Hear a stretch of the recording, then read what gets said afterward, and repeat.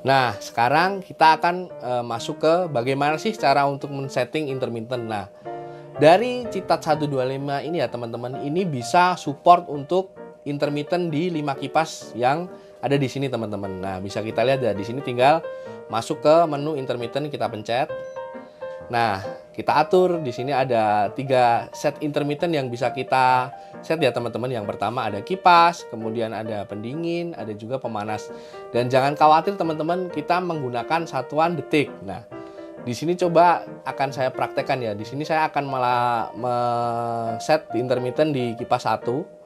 Ini akan saya coba nyala. Kita eh, minimal 5 detik ya teman-teman ya satuannya yang paling rendah ya. Nah, ini akan kita coba nyalanya 10 detik kemudian matinya juga 10 detik di kipas satu. Di sini akan saya uh, coba ya di sini saya aktifkan. Nah di sini akan kita lihat teman-teman. Kita balik. Nah di sini bisa terlihat kipas sedang on ya.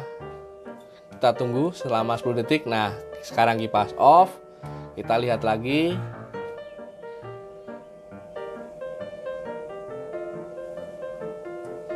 Nah, sekarang on lagi teman-teman. Di sini bisa disetting ya. Nah, ini ini akan kita coba untuk gimana sih? E, bisa nggak ya 55 nah kita akan coba ya. 55-nya akan kita aktifkan intermittent e, bersama-sama. Ini coba kita aktif di nyala di 15 kemudian matinya di 10 detik.